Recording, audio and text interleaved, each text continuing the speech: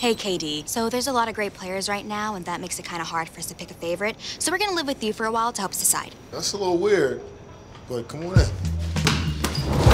Whoa! Did Mr. Durant do you dirty? Yeah, I dunked on him. Have a sorry about that bag. Ooh.